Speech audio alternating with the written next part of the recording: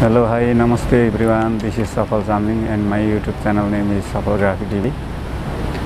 सधैँ चाहिँ आज पनि म एकदमै तपाईँहरूलाई काम लाग्ने इन्फर्मेटिभ भिडियो लिएर मेरो YouTube channel Safal graphy TV मार्फत उपस्थित भएको छु तपाईँहरू समक्ष आज चाहिँ म तपाईँहरूलाई युरोप कसरी आउने भनेर सोधिरहनुहुन्छ कतिपय साथीहरूले आफन्तहरूले सो त्यसको बारेमा चाहिँ तपाईँहरूलाई मैले स्टडी गरेर चाहिँ कसरी आउने भन्ने बारेमा चाहिँ म यो भिडियो बनाइरहेको छु। मैले स्टडी गर्दा चाहिँ युरोप आउनको लागि पाँचवटा वे वेजहरू मैले फाइन्ड आउट गरेँ।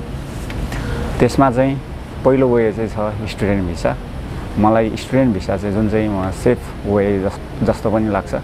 तपाईँहरूसँग क्वालिफिकेसन छ एबिलिटी छ आइएल्स गर्नु सक्नुहुन्छ इङ्ग्लिस राम्रो छ भने चाहिँ तपाईँहरूले आइएल्स स्याट अथवा जिम्याट के के छन् होइन तिनीहरूमा चाहिँ तपाईँहरूले क्राइटेरिया पुर्याएर गर्न सक्नुहुन्छ भने चाहिँ यो चाहिँ सेफेस्ट वे हो भिसा लाउनको लागि।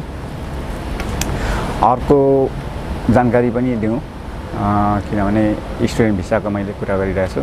यदि तपाईँहरू चाहिँ एबिलिटी छ तपाईँहरू ट्यालेन्टेड हुनुहुन्छ भने चाहिँ फिनल्यान्डमा चाहिँ तपाईँहरूलाई एजुकेसनमा पैसा लाग्दैन एजुकेसनमा फ्री छ। सो वर्षमा एकचोटि चाहिँ तपाईँहरूले विभिन्न अब कन्सल्टेन्सी मार्फत तपाईँहरूले कलेजहरूमा एप्लाई गरिसकेपछि चाहिँ अफर लेटर आइसकेपछि तपाईँहरूको इन्ट्रेन्स इक्जाम हुन्छ। इन्ट्रेन्स इक्जाम पास गर्नुभयो भने चाहिँ तपाईँहरूले विदाउट कस्ट ओके फ्रीमा तपाईँहरूले एजुकेसन युनिभर्सिटीको एजुकेसन लिन सक्नुहुन्छ र आउन पनि सक्नुहुन्छ। अदरवाइज चाहिँ अरू कन्ट्रीहरूमा चाहिँ जुनै पनि कन्ट्रीमा पनि स्टुडेन्टहरूको लागि चाहिँ युनिभर्सिटीले पैसा चार्ज गर्ने गर्दछ। यो चाहिँ स्टुडेन्ट भिसाको बारेमा मैले कुरा गरेँ। दोस्रो वे चाहिँ छ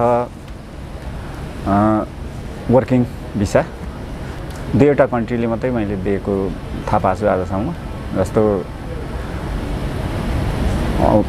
माल्टा अनि पोल्यान्ड र पहिला पोर्चुगलले पनि दिएको थियो तर अहिले चाहिँ पोर्चुगलमा चाहिँ अलमोस्ट वर्किङ भिसा चाहिँ दिएको छैन।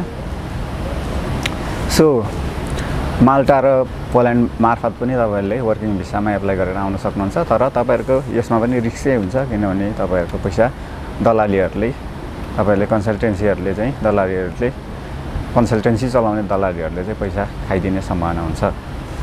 वर्किङ भिसाको बारेमा मैले बताएँ तपाईँहरूलाई। र तेस्रो वे भनेको चाहिँ भिजिट भिसा हो। भिजिट भिसा पनि एकदमै यो अनसेफ प्रोसेस हो। यसमा पनि तपाईँहरूलाई डुबाउने तपाईँहरूको पैसा फस्ने सम्भावना हुन्छ। त्यसैले यसमा पनि एकदमै तपाईँहरूले विचार पुर्याएर भिजिट भिसामा पनि एप्लाई गर्नुहोला। किनभने धेरैजना मान्छेहरू डुबेको पनि देखेको छु सुनेको छु र यहाँनिर भिजिट भिसामा लगाएर आएको पनि मान्छेहरू मैले भेटेको छु। तेस्रो वे भनेको भिजिट भिसा हो। अर्को चौथो वे भनेको चाहिँ स्पोन्सरसिप भिसा।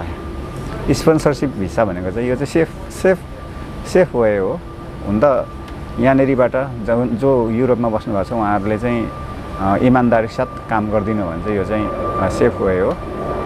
यहाँनिर इस्टाब्लिस भएर बस्नुभएका मान्छेहरूले चाहिँ तपाईँहरूलाई स्पोन्सर गरेर पनि भिसा पठाइदिन सक्छ। सो चौथो वे भनेको चाहिँ स्पोन्सरसिप भिसा हो। फिफ्थ वे भनेको चाहिँ फिफ्थ वे भनेको चाहिँ डिपेन्डेन्ट भिसा हो। डिपेन्डेन्ट भिसा चाहिँ यो चाहिँ स्योर सर्ट भिसा हो। यसमा चाहिँ तपाईँहरूले तपाईँहरूलाई तपाईँहरूको फ्यामिलीले ओके तपाईँहरूलाई ल्याउन सक्छ। जस्तो आफ्नो वाइफ भयो आफ्नो चिल्ड्रेन भयो आफ्नो बाबुआमा भयो यिनीहरूलाई चाहिँ डिपेन्डेन्ट भिसा मार्फत यहाँनिर जो युरोपमा हुनुहुन्छ उहाँहरूले ल्याउन सक्नुहुन्छ। र तपाईँहरूलाई यहाँको कार्ड बनाउने कुराहरू गर्नुपर्दाखेरि चाहिँ यहाँ चाहिँ कार्ड बन्ने देशहरूमा चाहिँ दुईवटा मात्रै देशहरू छन्। तपाईँहरू कार्ड बनाएर यदि तपाईँहरू यहीँ सेटल भएर बस्नु चाहनुहुन्छ भने चाहिँ दुईवटा देशहरू छ। जसमा चाहिँ एउटा स्पेन र अर्को पोर्चुगल। तपाईँहरू यी दुई दुई देशहरूमा चाहिँ विभिन्न माध्यमबाट आउट अफ सेन्जेन कन्ट्रीहरूबाट पनि आउन सक्नुहुन्छ। यहाँ चाहिँ अहिले चाहिँ साह्रै धेरै मान्छेहरू चाहिँ लिगल वेबाट चाहिँ जस्तो क्रोएसिया टर्की अनि साइप्रस र रोमानियाबाट चाहिँ मान्छेहरू विदाउट भिसा इलिगल वेबाट चाहिँ मान्छेहरू आएका छन् कार्ड बनाउनको लागि। अरू देशहरूमा पनि तपाईँहरूलाई लङ टाइम त्यहाँको प्रोसेस अनुसार क्राइटेरिया अनुसार चाहिँ तपाईँहरू बस्दै जानुभयो भने चाहिँ तपाईँहरूले त्यहाँको पिआर पाउने सम्भावना हुन्छ। तर यी देशहरूमा चाहिँ यो दुईवटा देशहरू स्पेन र पोर्चुगलमा चाहिँ तपाईँहरूले आएर ट्याक्स तिरेर यहाँको सर्टेन टाइम गभर्मेन्टले तोकेको हुन्छ।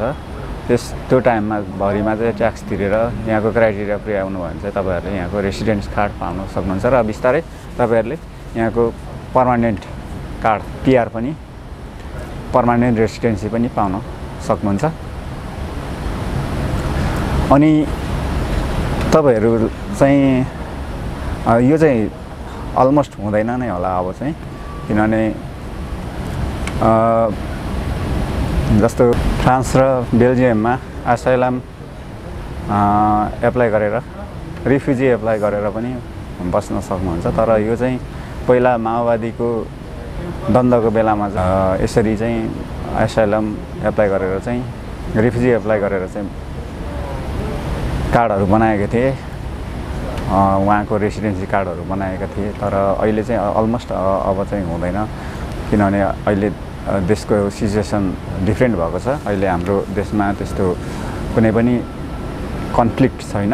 सो पिस भएको कारणले गर्दाखेरि त्यही रिजनले गर्दाखेरि चाहिँ असाइलम रिफ्युजी एप्लाई गरेर बस्न यहाँनिर अलमोस्ट मिल्दैन।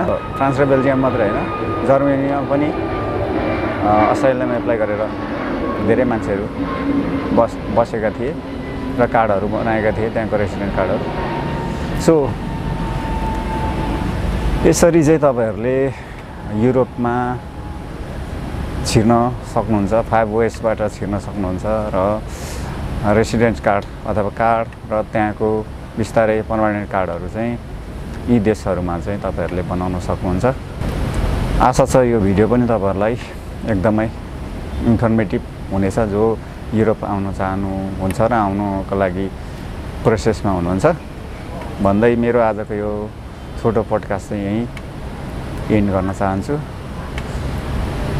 So and if you like my video do subscribe my channel and share my video if you have any opinions queries questions जे छ तपाईँहरूको त्यो तपाईँहरूले मेरो कमेन्ट बक्समा भिडियोको कमेन्ट बक्समा तपाईँहरूले ड्रप गर्न सक्नुहुनेछ र डाइरेक्ट मलाई कन्ट्याक्ट पनि गर्न सक्नुहुनेछ। म कन्ट्याक्ट नम्बर पनि तपाईँहरूलाई मेरो डिस्क्रिप्सन सेक्सनमा चाहिँ राखिदिनेछु। भन्दै यहाँहरूबाट बिदा हुन चाहन्छु। See you on next video thank you for watching have a good life have a good time thank you thank you everyone thank you so much